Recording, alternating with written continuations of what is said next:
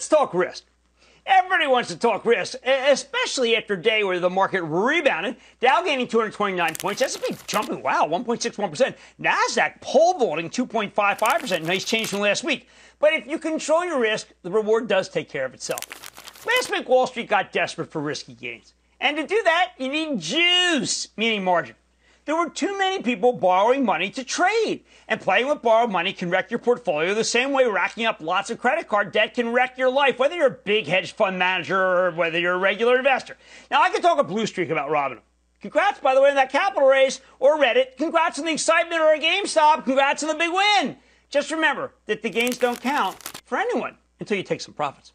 Right now, I'm hearing lots of people who should know better uh, fret about how these red hot uh, theme stocks, I think uh, GameStop, AMC, BlackBerry, Virgin Galactic, wow, represent some kind of new risk to the market. The action in the stocks is, has to some degree come unglued from the fundamentals, eh, but that happens a lot. It's really messing with Wall Street's plumbing, causing problems for the brokers and the clearinghouses, not necessarily for you if you don't have margin.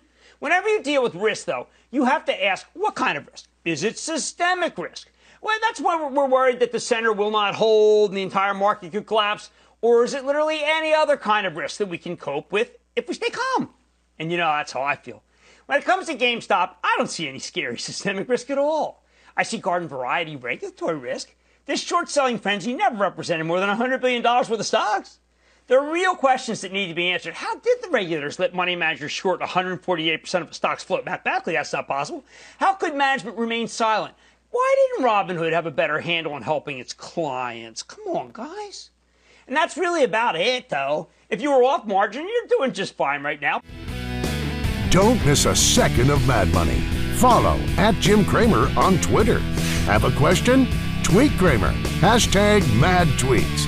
Send Jim an email to madmoney at cnbc.com or give us a call at 1 800 743 CNBC. Miss something? Head to madmoney.cnbc.com. Shepard Smith here. Thanks for watching CNBC on YouTube.